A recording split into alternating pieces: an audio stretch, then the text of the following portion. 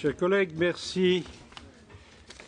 Colleagues, thank you very much for coming back punctually so that we could continue our dialogue with Turkey. And I would remind you that we are looking at the combined second and third periodic reports of states parties, reports submitted by state parties under Article 44. At the present time, we are in the question and answer section, and in this case, chapters 5 to 8 health, education, interim measures, the family environment.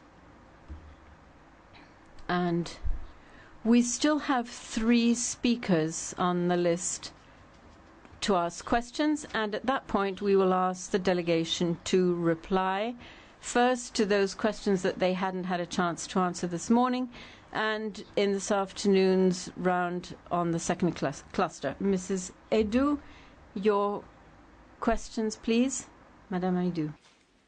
Thank you very much, Mr. Chairman. I'd like to thank uh, the Honorable Minister and her delegation for all the responses we have received so far. I'd like to add a few questions to the issue of adolescent health, which has come up already.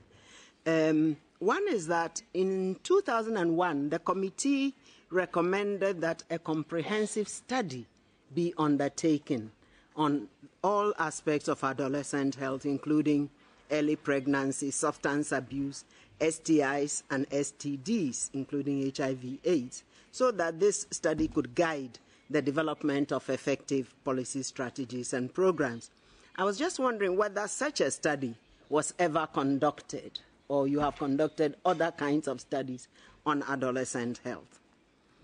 Second, we understand that uh, Turkey has received assistance from the EU and UNICEF to develop life skills based education program, including parenting education and peer to peer education.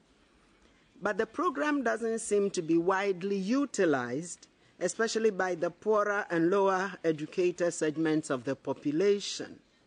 If this is true, what measures are you undertaking to stimulate demand uh, for the use of this um, important program of life skills based education for adolescents?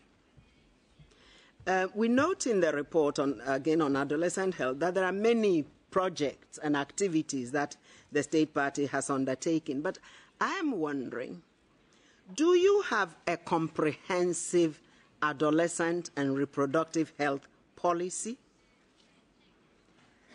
And is there an adolescent and reproductive health education program designed according to the different ages of children that is incorporated in the school curriculum?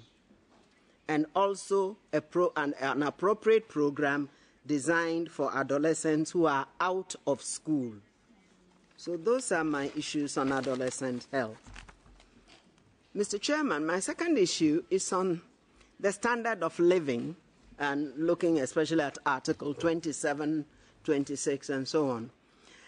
Now, we know that, as was said in the, Her Excellency's uh, uh, very informative introduction this morning, Turkey is undergoing a rapid economic uh, uh, changes. The economic growth now makes it perhaps the third fastest growing economy uh, in the world, uh, maybe after China and India.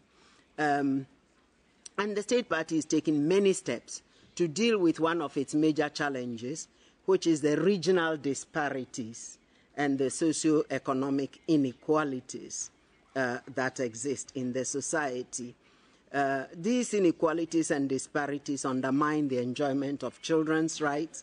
Um, and if you look at some of the information, um, we, we, are concerned that children in eastern Turkey, and mainly in the Kurdish populated southeast uh, uh, region, they suffer severe, severe deprivations in their human development indicators and their standard of living. In fact, the annual poverty uh, study of the Turkish Statistical Office showed that in 2009, the proportion of children under 15 years living be- below the national poverty line was 25.77%, compared to 18% for the general population. In fact, wherever you find severe child poverty, it is always higher than general poverty among the population and among adults.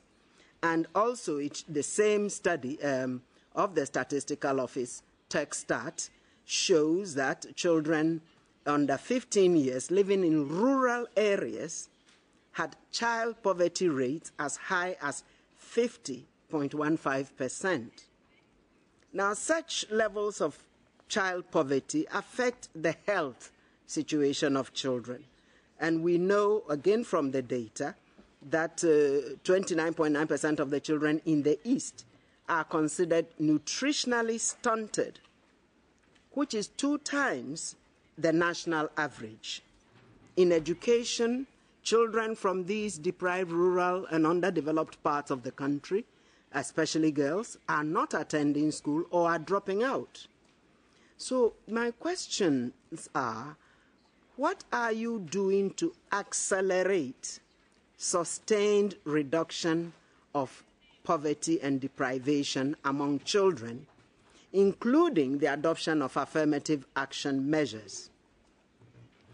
We commend the State Party for the efforts that uh, it has undertaken with respect to the conditional cash transfer uh, system.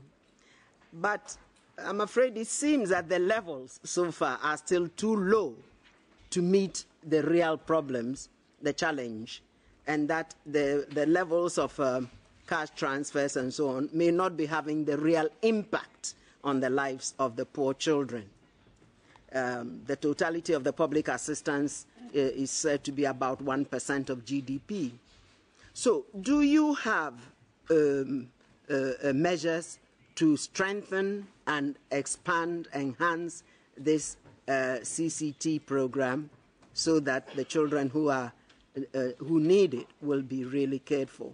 But at the same time, do you have comprehensive support programs for the families with children, uh, which will be rights based and which will prioritize children who are at risk of poverty?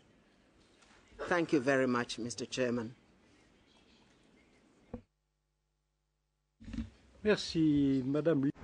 Thank you. Madam Lee, please. Thank you very much, Mr. Chairperson.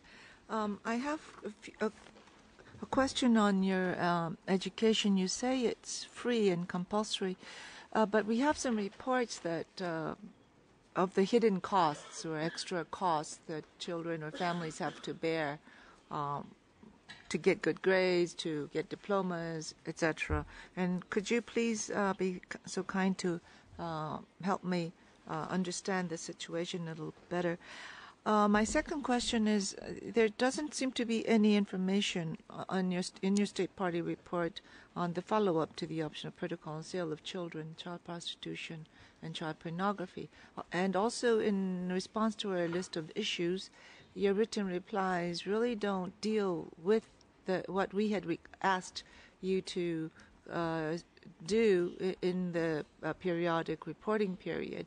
We have, in our previous uh, concluding observations to this optional protocol in 2006, we've asked you to uh, include in the state party report, in the periodic report on a national plan of action, to uh, address all the issues uh, and um, actions in, that are enshrined in this uh, particular uh, uh, optional protocol, and then also to provide us information on a, a new legislation, because you know uh, it's different from trafficking, and most of what you had said previously is deals with trafficking. You have a law on a, a, national plan of action on combating trafficking, but that really doesn't include all the uh, offenses that this particular optional protocol would like you to include.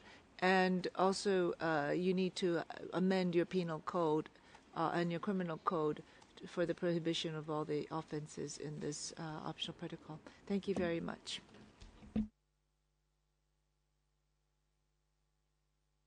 Merci, Madame Mauras. Ok. Merci. Alors, Right, thank you. We have these new questions. I would just add something to add on to what Madam Lee said. There are two Council of Europe conventions that we would like you to ratify. You've signed them, but you haven't ratified them. One on cybercrime that's to the 2001 convention. I think there was a when we were looking at the protocol, the optional protocol on the sale of children, there was a gap there. And the other one is the trafficking in human beings, which is from 2005. So we'd like to know where you stand at this point on the ratification of those two conventions. So, Madam Head of Delegation, the menu that awaits you is considerable, and we are. I will now give you the floor for your replies. Thank you.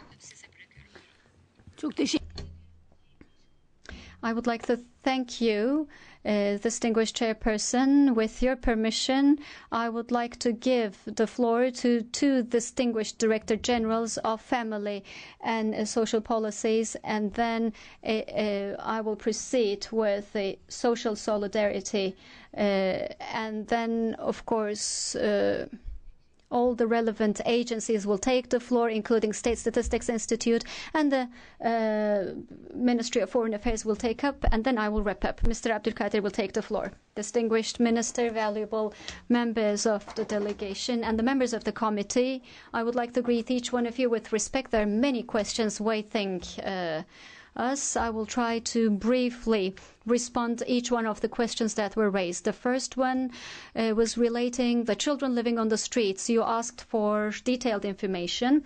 Right at the moment, we do have 38 centers, 8,769 children receiving service. Out of them, 644 of them are boarding, 800 uh, 8,125 of those children receiving day, uh, daily services and uh, 269 of them are employed. 1,572 of them do receive education. 935 of them uh, return to their families. 67 of them had been treated for their substance addiction, and 164 of those children uh, were equipped with skills and do have a job now. 5,275 of those children received recreational uh, activity services in the areas of sports and social and cultural activities and related with the decree in force of law uh, about the ministry responsible for family and social affairs and uh, the child protection uh, DG are carrying out their activities in this framework. In there were uh, there was a question about adoption and what kind of problems are being encountered. Up until now, 11,000. Madam, Madam Mauras. Gracias. Thank you. Before we drop the issue of street children, children living in the street, before we leave that, the statistics you've just given us are very interesting and really quite impressive. But these are services that are provided to children who are in the street. My question is what is being done to prevent children getting into a street situation on the one hand, and on the other, what is being done for those children who are there to be able to exit that situation, to leave it? I, I, realize, of course, one thing that is essential is to ensure that they get their education and in that way be removed from that situation in the street. But I'm, I'm not very clear on where the stress in your policy lies in this direction. In other words, both prevention and, second, removing them from a street situation.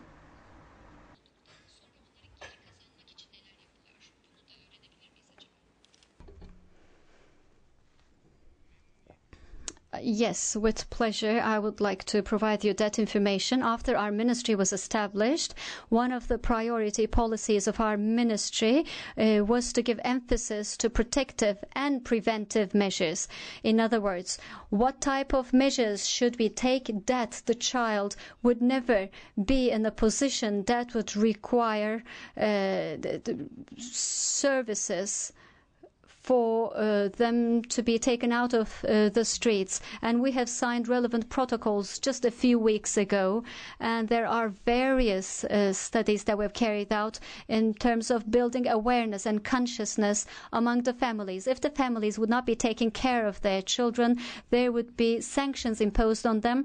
And uh, personally, our minister declared to every public institution and agency that uh, those measures are to be carried out and implemented in a very strict manner, in spite of all the protective and the preventive measures. If the child's uh, children would end up on the streets, now we do have mobile.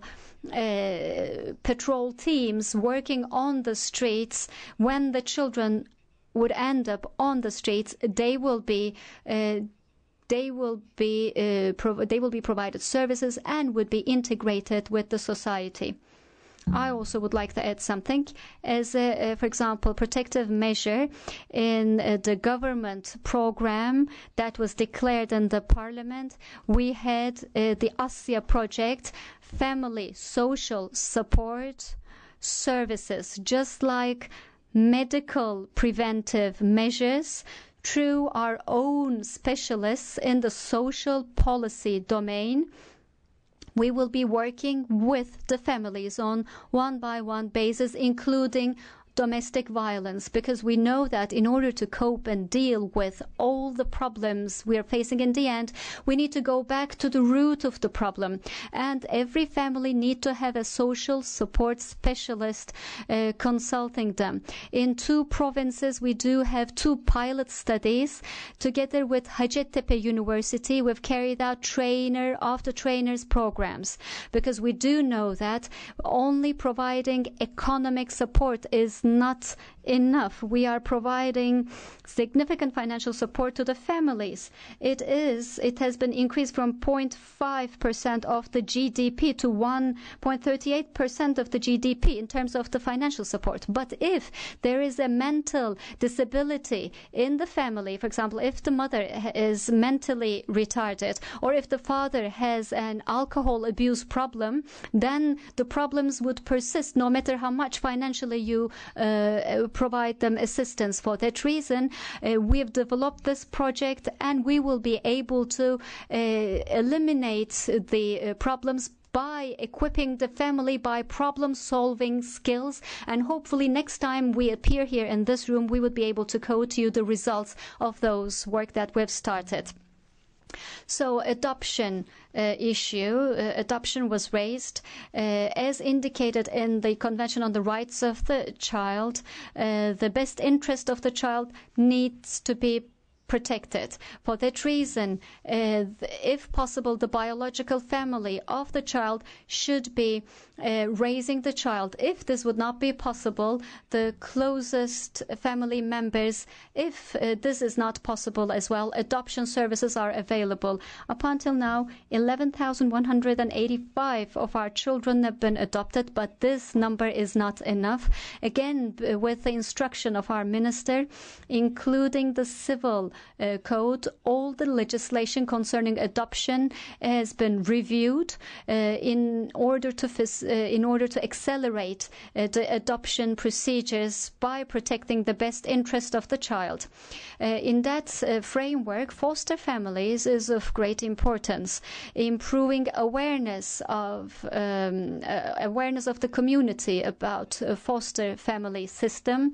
we are carrying out programs. For example, in Denizli province, we have organized a, foster family festival uh, in order to promote the topic so that we would be able to enable children stay with a foster family instead of an institution because we all do believe that every child needs a family. And at the same time, the board uh, to monitor the rights of the child uh, was another question. Building awareness within the community, uh, a nationwide awareness being established under the Prime Ministry. We've established a board uh, to monitor the rights of the uh, child. We do have nine ministries represented at the level of undersecretaries and deputy undersecretaries and NGOs, and we do also have in total, we do have uh, we do have uh, NGO representatives as well. In total, we have 20 members in this board. Any kind of action, any kind of decision that would relate children uh, would be in the agenda of this board, and the board needs to approve the actions and the decisions to be taken.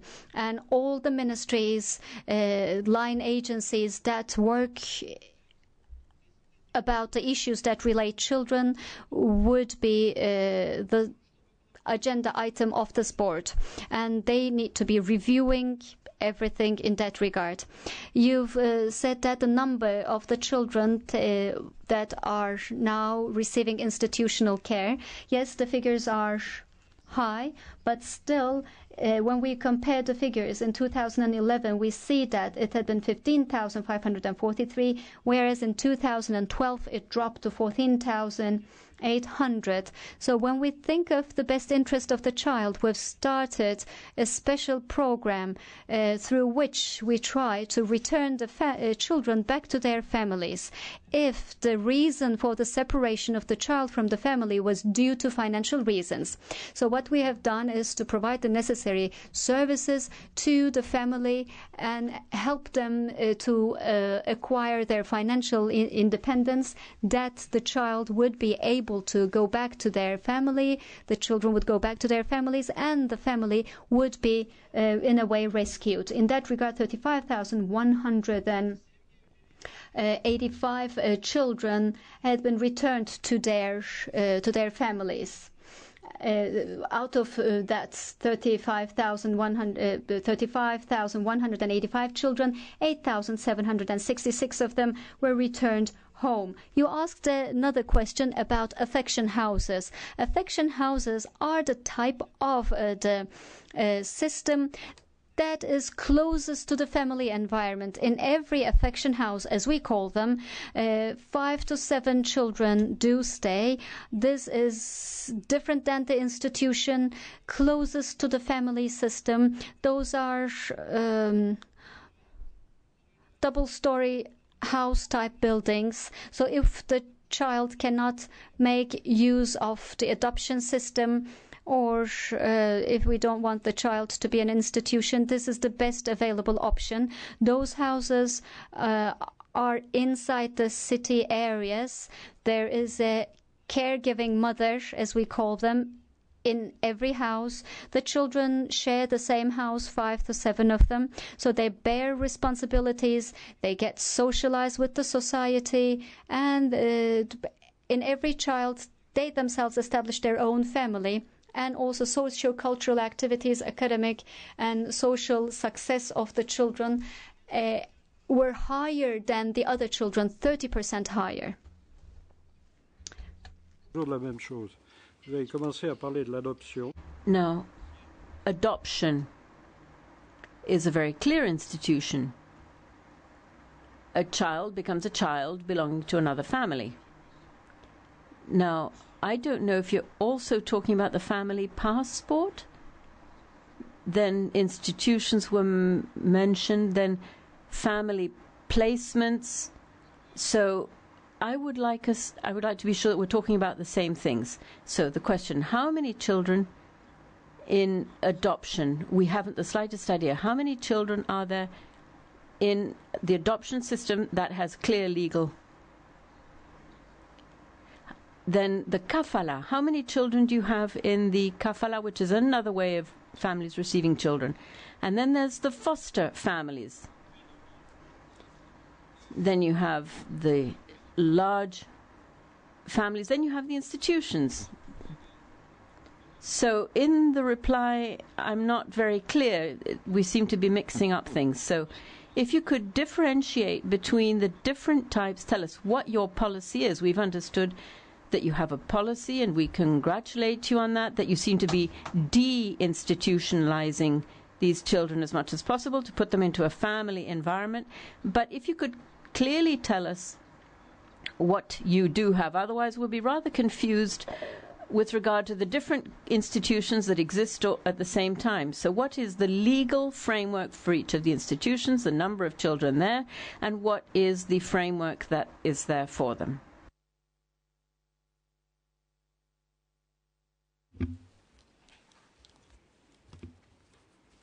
Efendim kısaca bilgi arz edeyim. Ee, şu ana kadar So, faydalan so let me try to briefly recode the figures. Up until now, 11,185 children were adopted. 5,247 children are with foster families. Right, right at the moment, 5,247 is the total number of the children that stayed with a foster family. But some of them, they grew and then uh, they've continued with their lives. But currently, as of today, 1,210 children are still staying with foster families. And uh, right at the moment, the last and do we do have a system that we prefer to provide to the children home uh, care.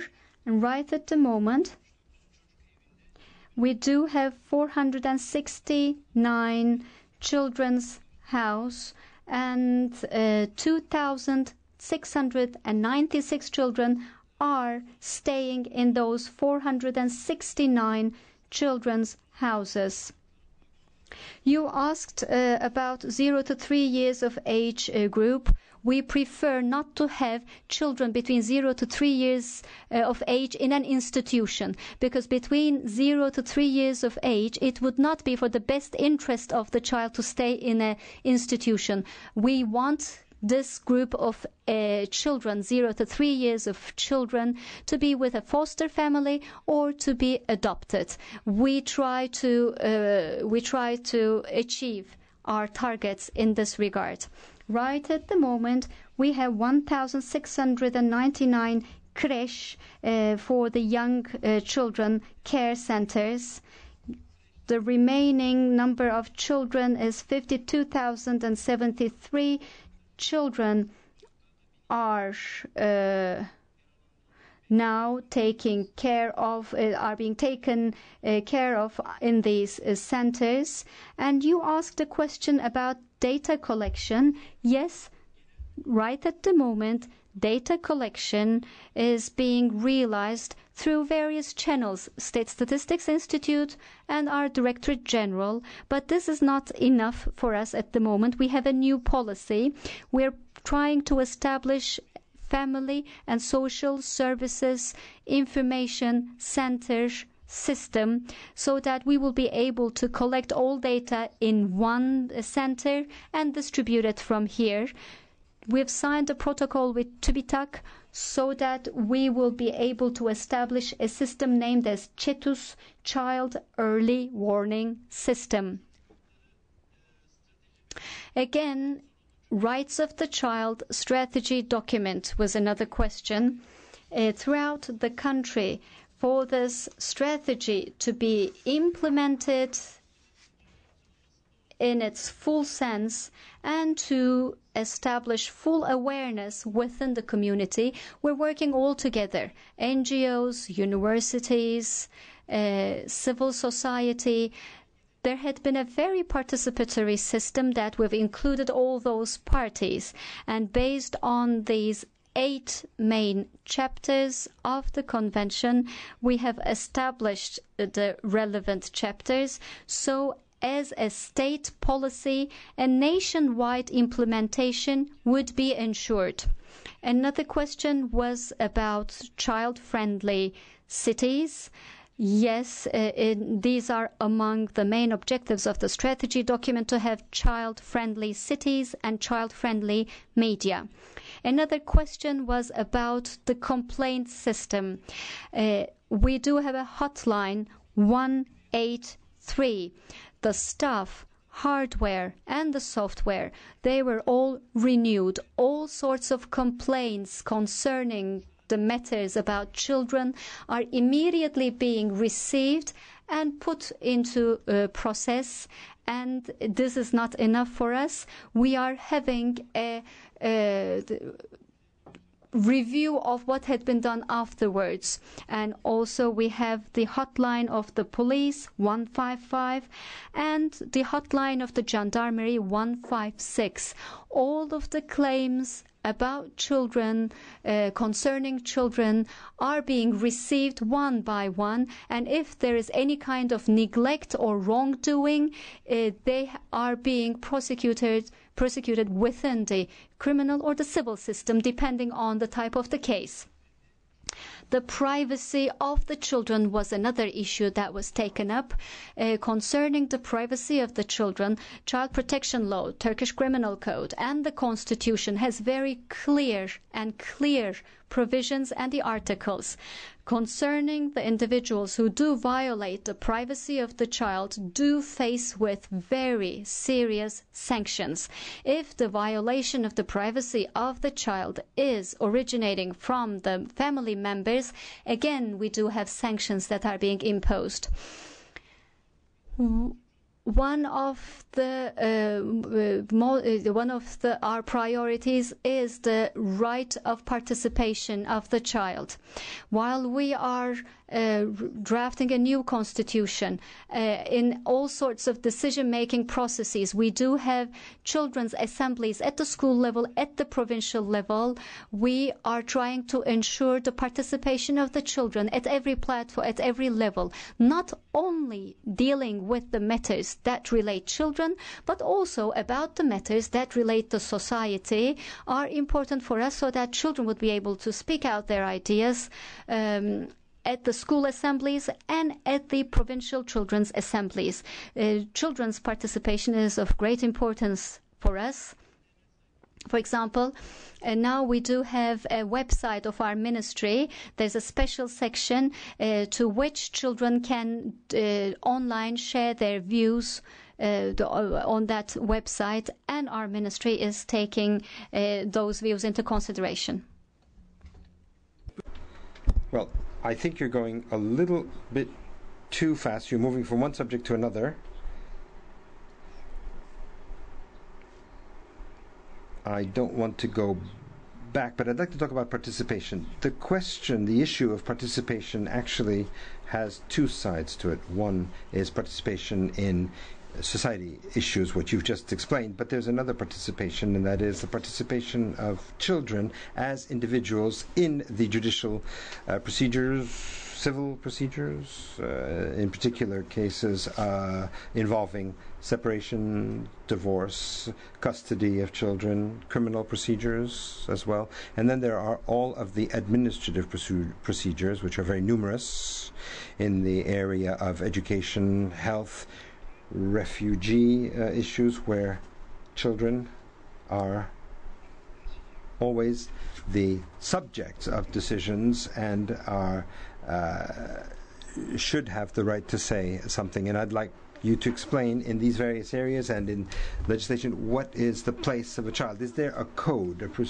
procedure to cover this sort of situation? My colleague, rapporteur, Mr. Kotrane, also has a couple of questions, follow up questions. You have the floor. Thank you very much, Mr. Kotrane speaking, and thank you very much for your replies. Before we move away from the subject of the family, I'd like to come back to the figures, the statistics that were given to us, which did not actually make things much clearer for us. We heard about 11,185 cases of adoption and the others, 5,247, are in foster families, and we've understood that. There are uh, special facilities for children. I, if I understood correctly, maximum of seven children. Let me come back to the figure of 11,185 children who are adopted. These are adoptions. Now, are these full adoptions? Uh, I know that a great uh, portion uh, of families are Muslims in Turkey, and some of some people apply the kafala system that does not allow a child to actually hold or have the name of the family nor to inherit. So we would like to know whether there's a distinction in your system. That's the question that the that our chairman also asked. 11,185 cases are these uh, adoptions or do they, does that number include the kafala adoption system? Now, without moving away from the family and the family itself, we talked about cases of early uh, marriages, of uh, sometimes forced marriages. Uh, the committee which uh, combats all forms of discrimination against women, also talked about polygamous uh, marriages. Uh, and after that, we'll be moving to other areas. So, if you could give us some information about these issues I've just mentioned, which do have a direct relationship with the place that children have in family relations. Thank you.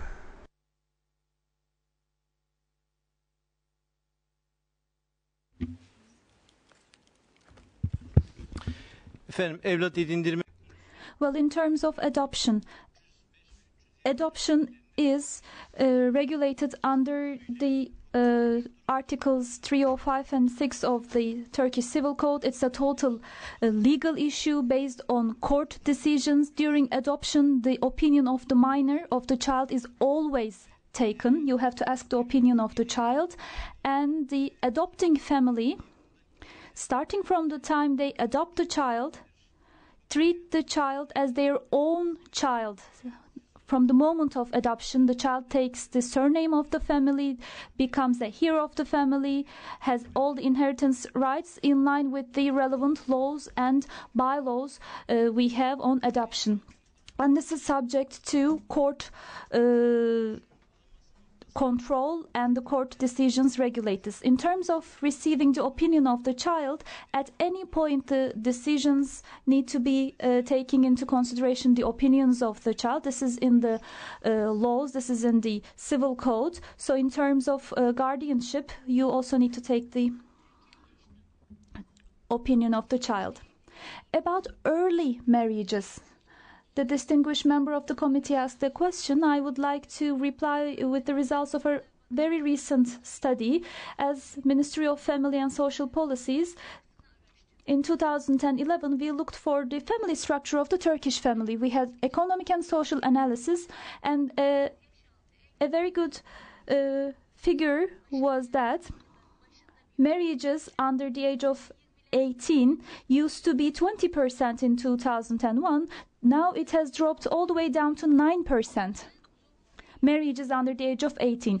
And we attach importance to this 9% figure. And this is the very reason why we are actually increasing the compulsory education to 12 years because we want to have 0% of early marriages. Both parties need to learn about the damages and the harm of the early marriages. We are following up on the process. But this very recent study indicated that there is a very uh, rapid progress, uh, about 100% improvement we can talk about. Madam Eileen, about the disability issue. Distinguished Chairperson, ladies and gentlemen, I am the General Director of uh, services responsible of the disabled people and senior citizens so i will talk about disability. What kind of support is given to the families with disabled children was a question.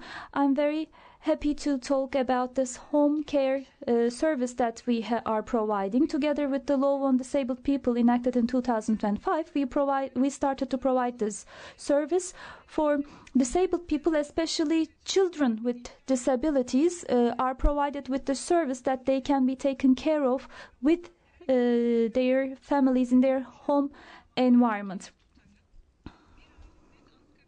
We check the income level of the families with disabled people or people who need care. If their uh, family income is less than the third, two thirds of the minimum wage, then the, they will be provided with home care services. So, in line with this law, the number of disabled people who benefit from this monthly payment is about 372,000 people, and one third of this uh, these people are uh, people aged with between 0 to 18 years, and 130,000 of them are uh, disabled children. So this is very good uh, news for us.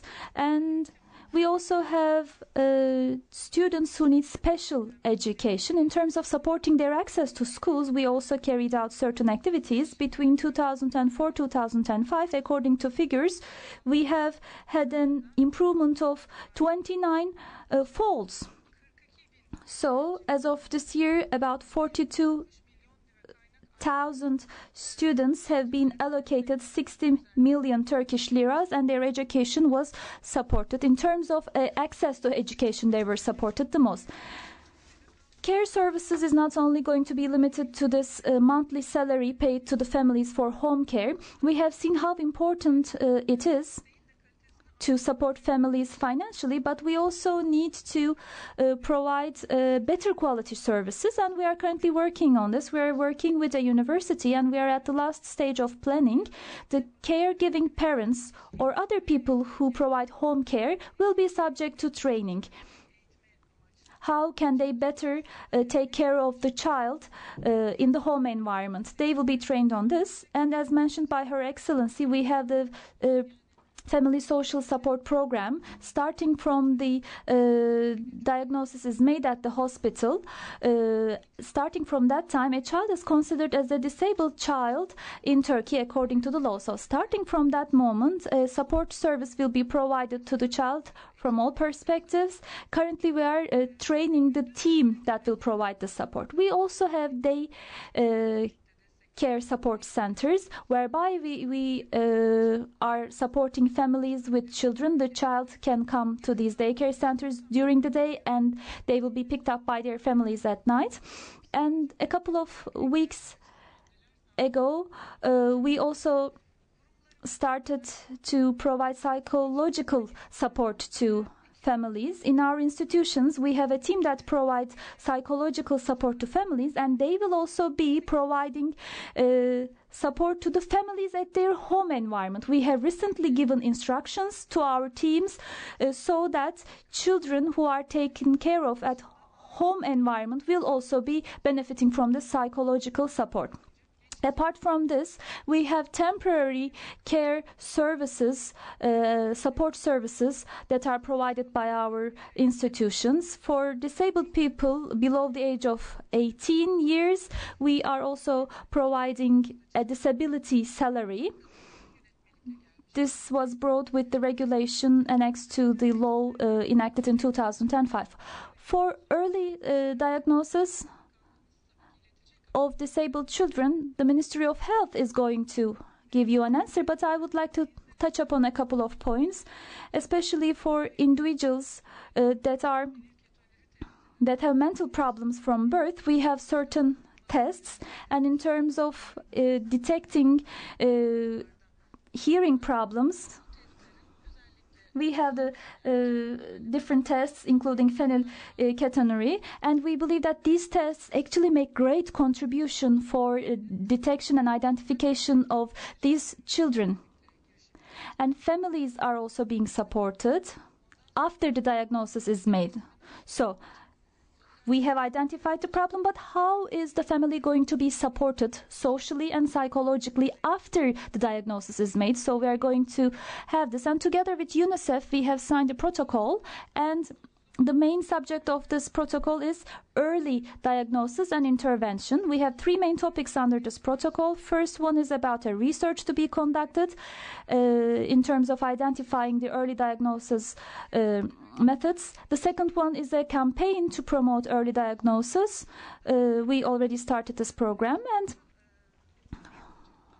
finally, we will have a congress or a conference type of program to promote all these activities.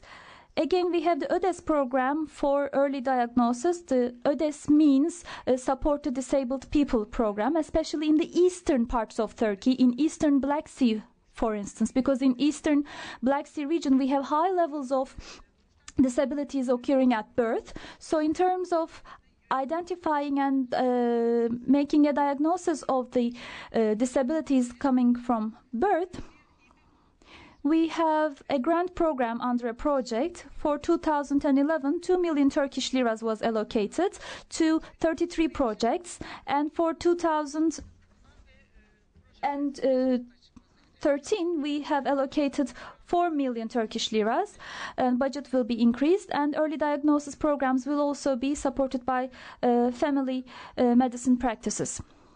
What kind of control mechanism is there in the institutions was another uh, question. In our institutions, we have the uh, control mechanism that is prepared in line with the law relevant law on social protection, especially in judicial cases, this uh, mechanism is put into force. Apart from this, we also have an internal uh, oversight or an internal control mechanism uh, under the framework of which we have regular controls uh, and supervision of the institutions but the civilian oversight, which is very, very important, is also going to be developed. We are currently working on this.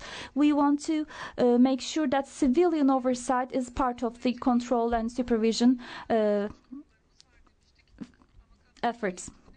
Then inclusive education. Yes, we have institutions, but to what extent do we really implement inclusive education? The Ministry of National Education is going to give you the detailed information. However, uh, I can tell you that there is a great increase in terms of inclusive education. We had very uh, good campaigns uh, pre uh, prepared, which also helped a lot. We have a campaign called Education Enables, and in the last three years, through this uh, Education Enables campaign, the children benefiting from inclusive education increased by 109%.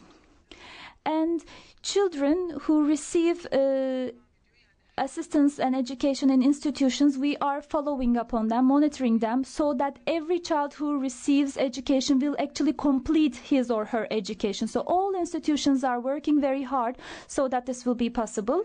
And Almost all the children are still continuing their education. Apart from this, we have individual care programs uh, prepared for each individual uh, child. Microphone, please. Şebnem Avşar Kurnaz, Social Assistance General Directorate. I would like to extend you my best regards. 45% of the uh, budget allocated to, to fight poverty is directly used for children. Our priority is to make sure that the children have access to basic education and health services. I apologize for interrupting you. We're talking about the disabled. We haven't finished the question of the disabled, so questions of diagnostics will be responded to by the Ministry of Health, Education, in particular inclusive education. So I'd like to work on individual themes and mm, topics, uh, not by subjects. Even if the subject you're going to deal with is interesting, but let's finish up with the persons with disabilities, please. Sağlık Bakanlığı buyurun. Evet.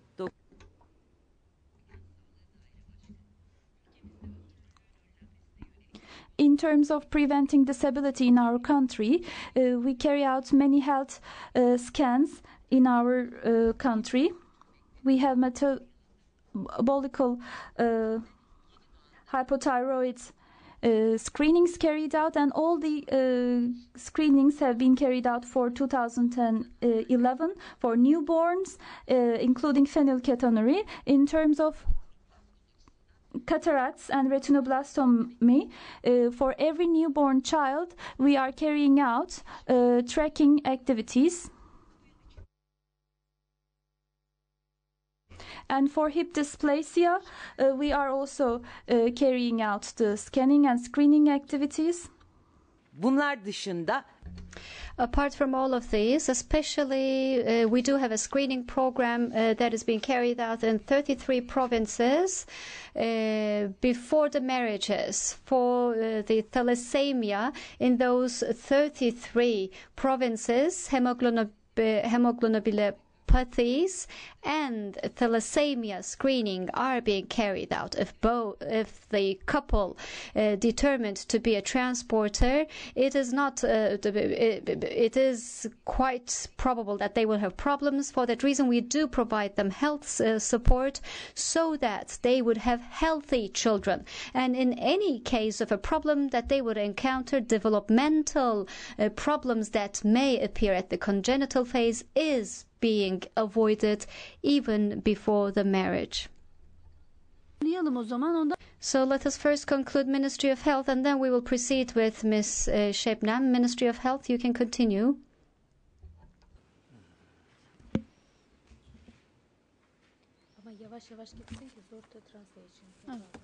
Tamam, tamam. Eğer Ömer Faruk Koç My name is Ömer Faruk Koçak. I'm the Deputy Under Secretary of Ministry of Health. So if we would need to continue in a holistic approach, uh, first of all, I would like to uh, respond to the questions that related Ministry of Health from the morning session. First of all, I would like to greet each one of you with respect. Good afternoon.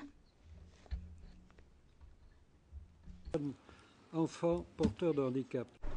Children with disabilities. Now, we've had the diagnostic side, but I still need to hear from the Ministry of Education where is what is the place of a child with disabilities in education. Then we'll deal with other problems. It's not a question of uh, global health problems. We're talking about a specific area, which is children with disabilities.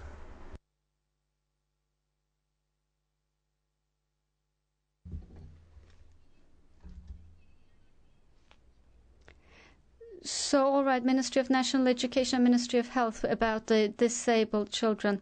So, let me try to conclude uh, the uh, from the Ministry of Health, Sibel Örsel. Uh, in the infant age group, psychosocial development to be supported and uh, preventing the risk factors. Uh, we do have an early diagnostic system that is being carried out since 2005 in 81 provinces. If there is a risk factor coming from the family or originating from the child, uh, we are referring them to second stage health services. Second stage and third stage health services we're trying to be integrated. We have established a newborn pedi pediatric unit, like autism type of developmental uh, problems. We are trying to establish diagnostic centers. One of them already started working in Ankara for those type of uh, diagnosis of developmental problems. Distinguished Chairperson, distinguished members of the committee, I would like to greet each one of you with respect. Under the heading of the, uh, disabled, we collect them under the roof of special education. Uh, we had 1,000 34 education uh, facilities. We're providing 238,000 students being uh, trained. We do have 49 schools for hearing disabilities and there are 1,121 teachers teaching 3,830 students. Uh, for uh, the sight impairment, we have 16 schools, 1,362 students that are being trained by 445 teachers. So I can give you various numbers under various headings. There was a question about uh, special education being provided in special institutions or special education classes in ordinary schools. So our policy is to keep those disabled students as much as possible together with the other students. Uh, so disabled students with the ordinary students uh, kept in the same environment is our preference. If it is a, if it is a preschool education, uh, we try to have 14 students. If it is an ordinary classroom environment, we try to have 30 students maximum in one class where there are disabled students included. And uh, we do have 84,580 students in the uh, elementary, in the basic education, 7,775 uh, students in the secondary uh, school education that are receiving training within the ordinary schools with the ordinary students. And this does not take place in a random, manner. Both the teachers who are to welcome those disabled students and the ordinary student uh, they are informed ahead of time and they do uh, get prepared for the disabled students to be integrated in the classroom environment. Together with the Ministry of Family and Social Policies, the busing system for the disabled students are uh, being used in uh, with transported 6,901 students in 2004, whereas in 2012 this number increased 36,200, uh, the busing system, I mean, for the disabled students. Yes, President. Thank you very much, Mr. Chairman. And my thanks to all who have spoken about the subject of children with disabilities. I think that we can uh, only welcome the protocols that appear to ha- you have uh, established for the early detection of certain specific disabilities. However, I did not quite completely understand the early detection system for specific uh, intellectual disabilities. I've understood that there's a center for the detection of autism and other intellectual disabilities for an assessment to be able to have early diagnosis, early stimulation. But if there's a one center for all of Turkey, then the situation for people who do not happen to live near that center will, I think, be a very difficult situation. So, in that sense, I'd like to know for cases of other syndromes, in addition to autism, which involve an intellectual disability, the information that we've received where to request an assessment, there's an extremely long waiting list, and this is really very important because it's extremely important to be able to have early stimulation and to have early diagnosis, early detection. I'd like to know whether this is true, very long lists. In addition,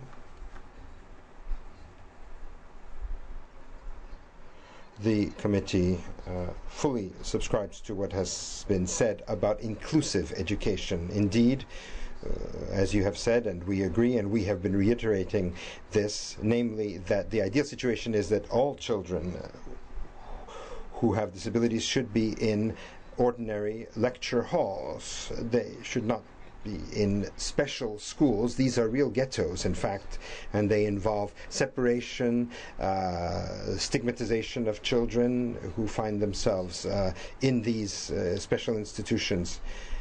But that they shouldn't be in a special lecture hall or classroom, but they should they should be in the regular halls, the ordinary halls, with the necessary support staff and with uh, an eye on the numbers of children so that they can be attended to.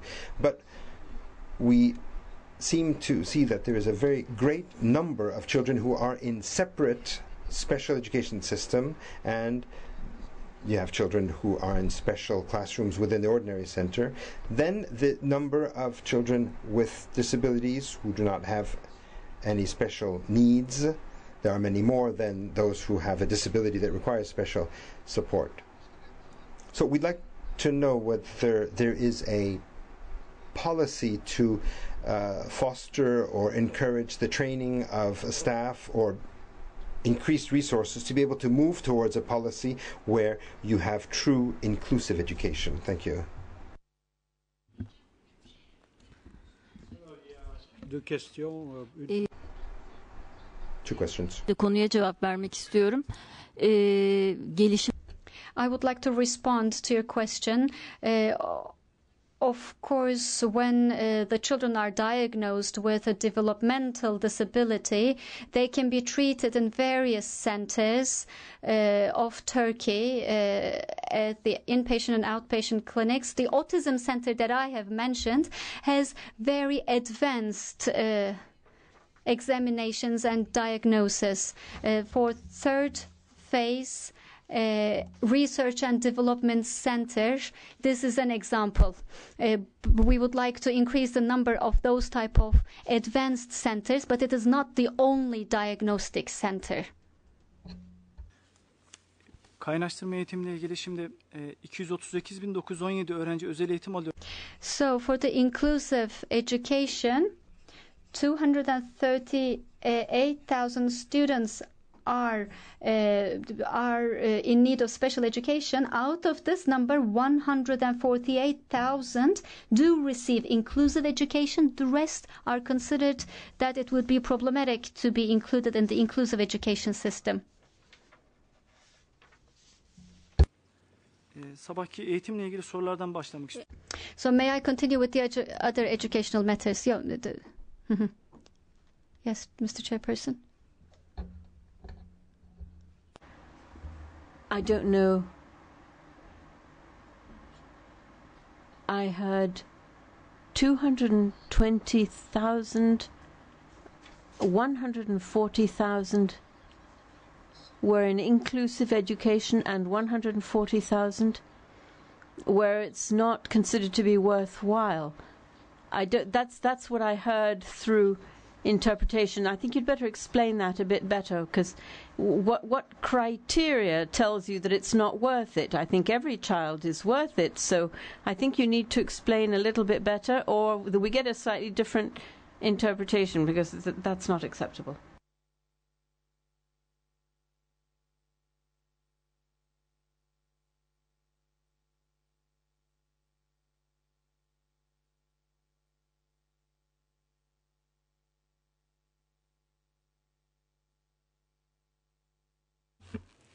Engelli So, disabled children uh, are being considered under special education. For example, hearing disabilities, uh, visual uh, disabilities, autistic ones, orthopedic disabilities. So there are various titles. The total of all disabilities is 238,000 total disabilities. Out of 238,000 students, 148,000 of them receive inclusive training. The rest cannot be included. Why? Because we think the specialists report us that the remaining uh, the remaining children cannot receive inclusive training within the ordinary system. Reports are being issued by specialists indicating whether the child can be uh, in an inclusive training or into special education. For example, in terms of hearing disabilities, we have 49 schools. Uh, so, for in 49 schools, hearing disability specialists are training those children. The equipment, the facilities are designed for them. It is the same thing for visual disabilities as well. Mr. Cardona? Mr. Cardona? Yes. Thank you. I don't think we need to discuss this much longer, but perhaps you could re examine some of these points of view that the specialists provide you with. It is very frequent in many states, these systems where children with visual disabilities or hearing disabilities are in inclusive education. The teachers have to know sign language in order to be able to communicate with them. The friends in school, if they're included, will very soon also learn the sign language. Experience has shown in comparative law if you include a deaf child in at the age of five in another classroom with everyone else, within the month, all of the companions will learn sign language and they are then all included. So it may be necessary to make an effort, not just a change of attitude or mentality of certain specialists who give up on children, but of course, you do need resources, media, the teachers need to be trained to provide support. But this is not only good for the child with the disability, but it's far more important for the children without disabilities. They learn to live with their friends who have a disability and that they should not be considered less in any way than any other. Merci, madame. Je crois. Thank you, madam. I think we have uh, finished on this. I think we can thank all the ministries that have participated on the issue of children with disabilities. You wanted to say a word? That's fine. But I think afterwards we need to move on to another issue, and uh, we have a lot of questions that have not yet been answered. Distinguished Chairperson, uh, I completely agree with the distinguished uh, member of the committee because we believe that uh, to improve the situation of the disabled children, we need to have this inclusive system and we will work with this team to make more of this inclusive education system and we will do it and we will improve it with this team of experts here. We're determined. So, health and education, let us continue. I would like to thank you very much. I would like to wish you a very good afternoon once again. Uh, during the first part of the morning session, uh, during the first part of the first session, some questions were raised. Let me start by uh, responding to your questions. One of the committee members concerning the guest houses isn't this a discriminatory action? I would like to thank you for this uh, question. This guest house system is a very innovative approach implemented by Turkey. It is not something that is being used for every mother. This is only valid for risk, uh, high risk uh, pregnancies in order to enable the high risk pregnant women to have access to health services when they are in need of it. And those women, if they wish to do so, can stay with their families in those guest houses. So unless they want to, they don't have to be separated from their families. Together with her family members, she can stay in those guest houses. And this is a completely voluntary participation. We just offer the service, and unless they want to receive that service, they don't have to. So it cannot be considered as a discriminatory uh, practice. But the most important of the services that are being provided is that we have a, a hotline 112 when we compare the uh, number of the uh, motor vehicle ambulances and the air ambulances, the number of the available ambulances increased by sixfolds and the sevenfolds. And also we do have mobile healthcare services that do provide uh, health care and monitoring services for the pregnant women in various areas and regions of our country, uh, the, the family medicine services and the obstetric services, uh, the basic obstetric services are being provided to those women, women through the mobile healthcare services.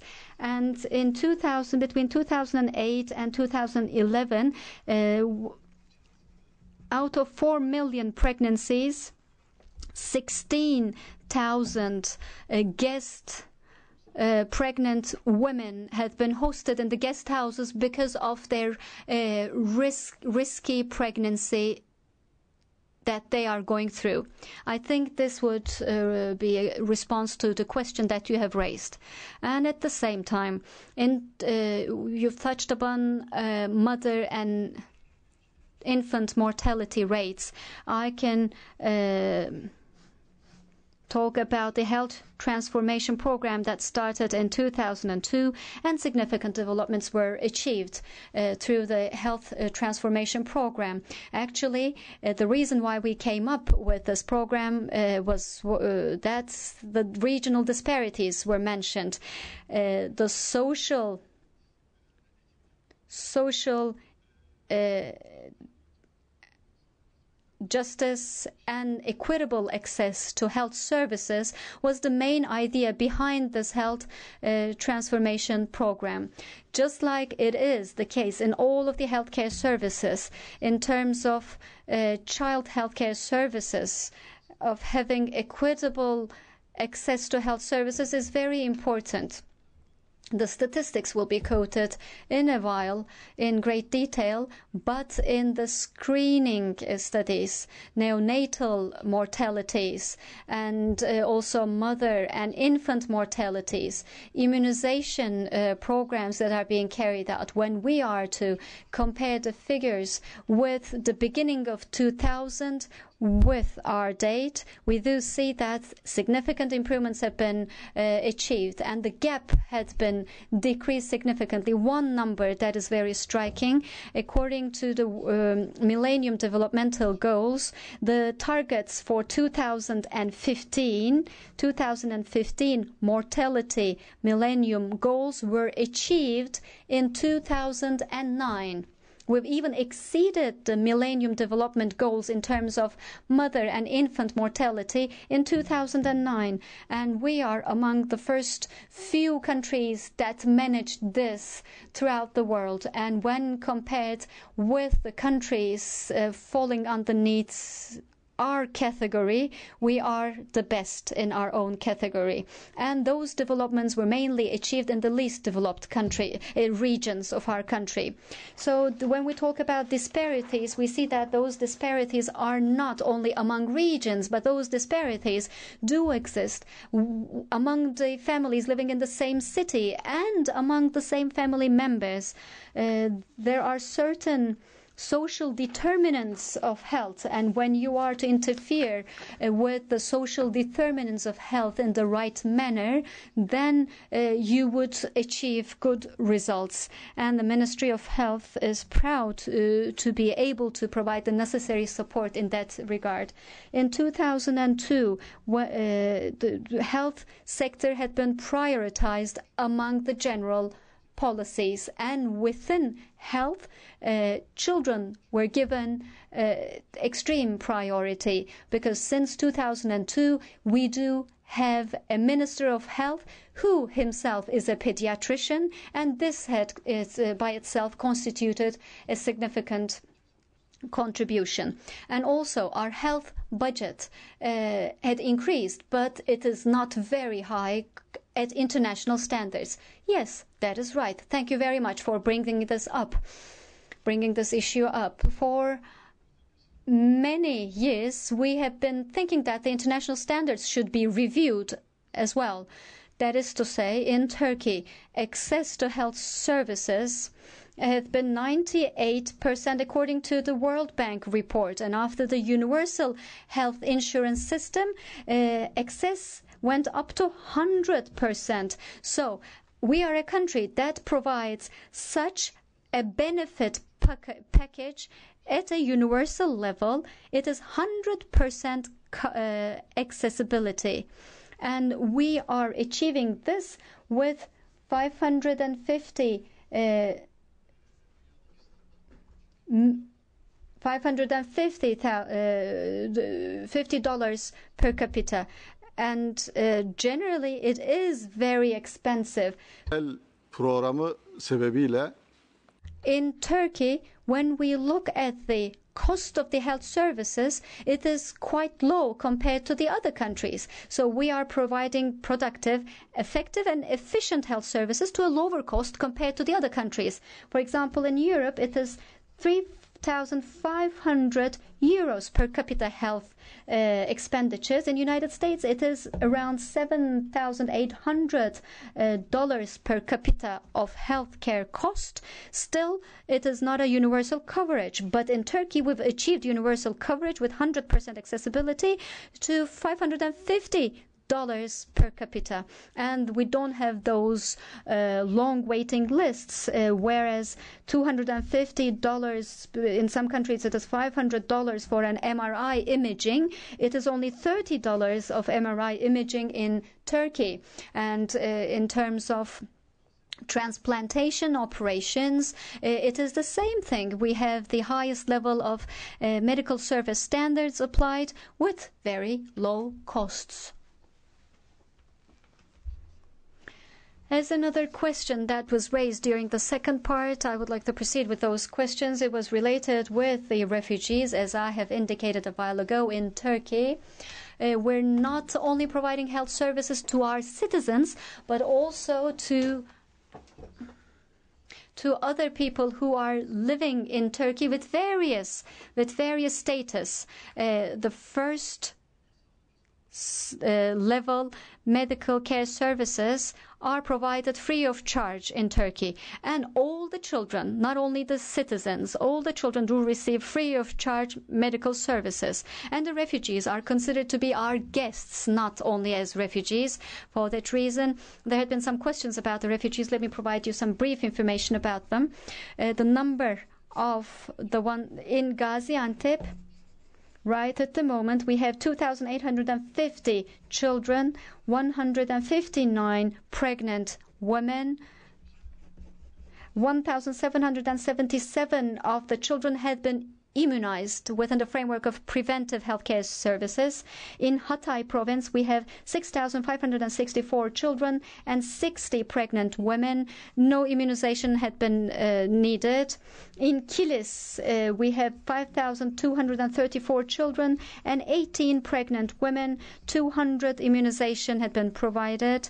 And in Şanlıurfa, we have 365 children uh, under this category. And all the healthcare services are provided on 24 hours basis. Specialist uh, med medical doctors and also uh, general practitioners are being provided, preventive medical care services are being provided, and emergency medical care services are being provided.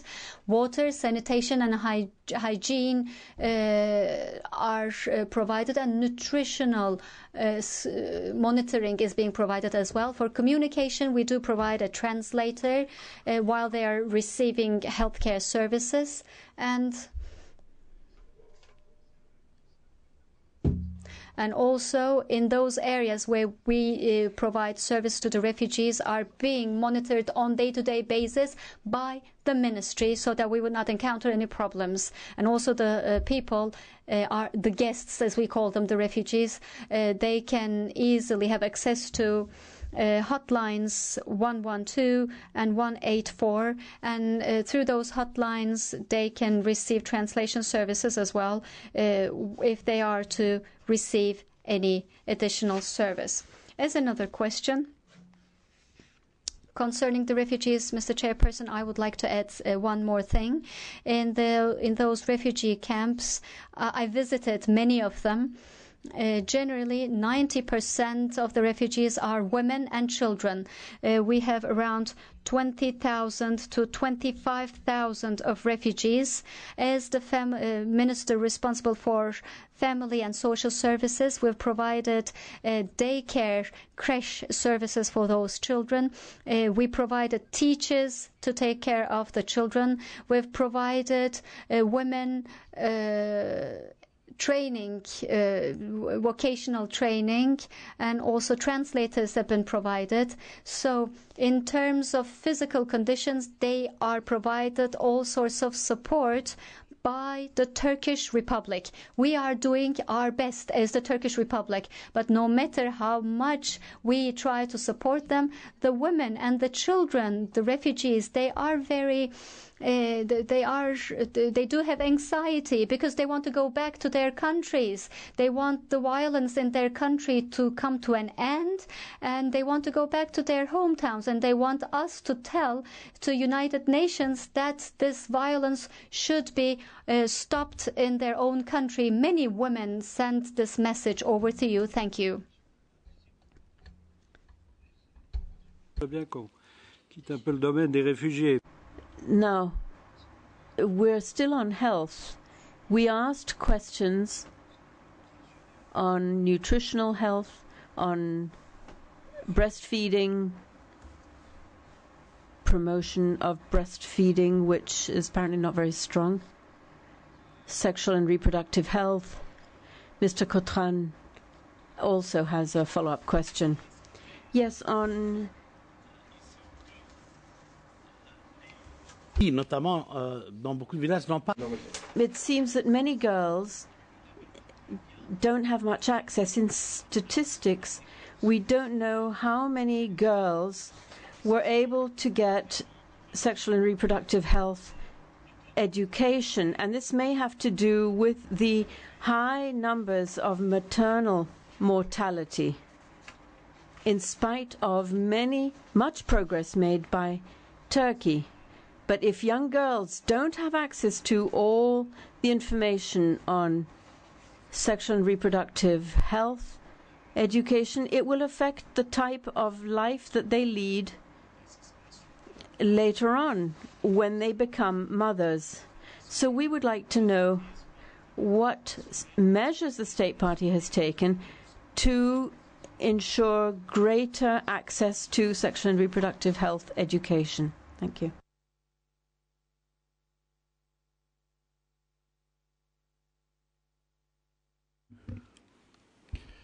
Ben bu sorular için de ayrıca teşekkür ediyorum. Eğer Well, I would like to especially thank you uh, for this uh, question. If uh, I was able to continue, I was going to actually provide an answer for these questions. With your uh, permission, I would like to start by unwanted pregnancies because it was also asked, and then my colleagues will provide you with detailed technical information. This is something very much debated in Turkey currently. Uh, that's why it was asked, I guess. We have to say that this topic is currently not uh, under a legislation or legislative activity. It's just the public still discussing this issue. But after the opinions are taken, this will be brought to the uh, Cabinet of Ministers by our ministry, and if necessary, let me underline this if necessary, it's going to be uh, considered by the Parliament, uh, by the government as a bill. But currently, there is no political decision taken yet, and there is no uh, legislative activity yet. About the other questions, about the more technical details, my colleague will provide you with information and then I will continue with your permission with the other questions. About breastfeeding, I would like to answer your uh, question. Since 1987, Turkey is carrying out the program for uh, baby friendly uh, hospitals and breastfeeding in line with the international standards. The World Health Organization is providing us with a form uh, according to which we assess and monitor hospitals and if you have good uh, maternal practices we award these hospitals with baby friendly certificate currently in turkey we have 437 baby friendly hospitals uh, that uh, provide 92% of all births. We also provide uh, the uh, staff of the Ministry of Health at the primary level and secondary level in terms of uh, uh. Uh, at the provincial uh, level, those provinces who give the uh, baby friendly certificate to their hospitals, uh, if we have activities in those provinces promoting the breastfeeding, then they are also considered as baby friendly cities. 19% of breastfeeding figures were given according to 2008 survey. Exclusive breastfeeding during the 6 months uh, first 6 months is 41% and in 2011 according to the survey we conducted uh, we know that 60.1% of mothers are exclusively breastfeeding their children in the six, first 6 months Apart from this, continuation of breastfeeding uh, up until the age of two years, uh, we have complementary uh, nutrition programs. So after the six months, mothers will also be continuing to provide their children with breast feeding and complementary nutrition. We also provide free of charge vitamin D and iron supplements uh, to 1 million children every year. Last year, in a study we conducted,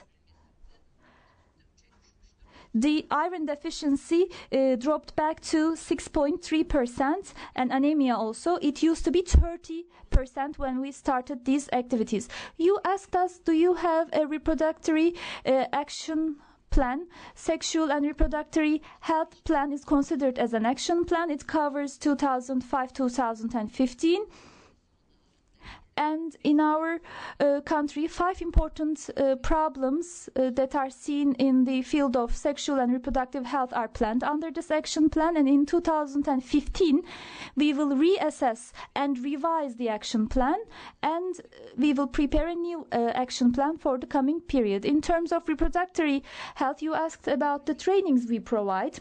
As you know in terms of having uh, access to the society and reaching out to students and children, you must have your health personnel trained in this field. In 81 provinces, we have reproductive and sexual health uh, centers. In these centers, uh, the personnel working in the field are being trained. Sexually transmitted infections, HIV, AIDS, introduction to reproductive health, and safe motherhood modules are included in this training. And the family practitioners that are trained with these modules can also help the adolescents and women aged between 15 to 49 years. Uh, they also provide the training to these women. I guess my colleague from the Ministry of National Education will talk about this, but we also provide peer training uh, in our country and we uh, have achieved important success. In terms of adolescent health, I also would like to add the following point.